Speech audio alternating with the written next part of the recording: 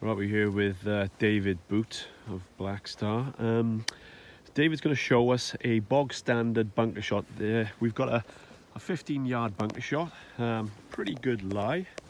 Dave, what are your thoughts, your feelings for the shot? Well, um, Stuart, I'm just trying to open up the face uh, Okay. as much as possible, really. Yeah. To expose the bounce, the back, the back part of the club. Lovely. What I'm trying Okay. the sand with, and then I'll probably try and like lean the shaft slightly back. So Yeah. get the same thing. Perfect, yeah. Deliver that leading edge. So. Very nice connection. Very nice, David.